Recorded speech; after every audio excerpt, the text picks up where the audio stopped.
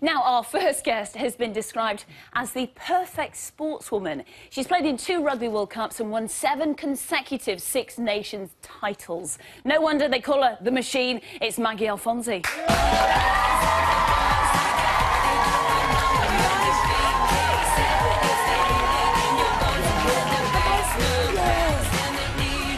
Maggie, high five. Good to see you. What have you brought in? Well, I bought well it's a rugby ball. Wow. A special rugby ball because I've signed it as well to you guys. Thank you so much. We're going to put it it to you. in our uh, grotto of goodies, just over here.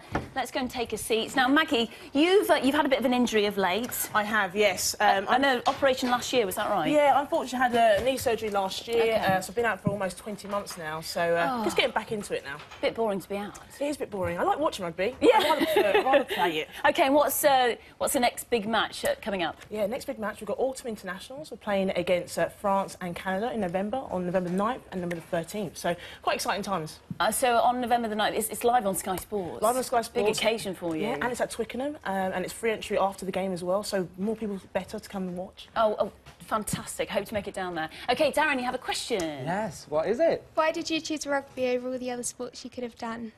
Um, I chose rugby because uh, it's one of those sports where it doesn't matter what size you are, you can play it, and it's one of those sports where you can just run at pace but and be really strong and not get in trouble for it. So I suited it very well, and I absolutely love it now, and I haven't left it since. So yeah, it's a great sport.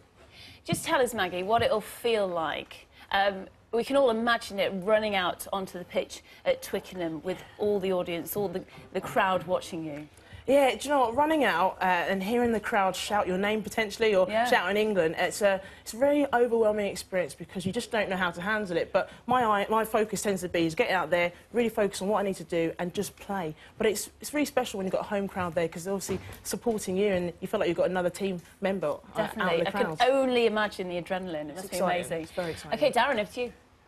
Yeah, I've got a question from Isaac. What's your question? What did it feel like to be out injured for so long? Oh, good question. Um, it was really hard being out injured. So being injured is never good um, because you have to watch on the sideline and watch other people playing your position. But for me, I just concentrated on getting fit, thinking about rehabbing my injury really well, and, and just focusing on what I needed to do well. So now I'm back, I'm really happy, but I also don't want to get injured again. So touch wood, fingers crossed I won't get injured again. Yeah, definitely.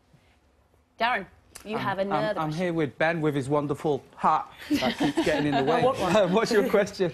Um, was it, uh, did, uh, did it hurt getting tackled? Like, Oh, do you know Yeah. what? Getting Does it hurt getting tackled? Yeah, I, I did can it imagine hurt? it does. Getting tackled does hurt a little bit, but because I'm prepared for it, I'm, I'm used to it. I like to make sure I make the big tackles, really. Um, but because you're so used to playing rugby and getting tackled all the time, it's not a problem. Yeah. And tell us about growing up, Maggie, because you had to overcome adversity, really. Um, tell us about your foot. What happened? Yeah, I was born with a condition called clubfoot, so my right foot was completely turned all the way in. And Mum had to make a decision to have an operation at a young age. Uh, so I was in and out of hospital quite early um, to straighten my foot, really. And if it wasn't for that operation, I wouldn't be able to run correctly. So I'm very lucky, uh, and it's made me be quite focused. Obviously, now I'm older, thinking actually I could have, you know, done something else. But actually, I've gone down the route of rugby, and I've done really well. Yeah, fantastic. Okay, Darren. Okay, I'm here with Joshy. What's your question? who is your inspiration and why? Oh, my inspiration. Um, when I was young, I used to really love following Muhammad Ali. Uh, you know, boxer, fantastic guy that he is. And more because of the fact he was always very confident and always knew, knew when to say the right things and also believed in himself. And that, that's what I try to do when I work with young people. Always believe in yourself and you always will achieve. Yeah, uh, what would you say that rugby has done for you? What benefits have you got from it? Yeah, rugby's given me a lot. It's given me confidence. Um, and now when I play and when I in my normal working life, I always feel confident in what I do.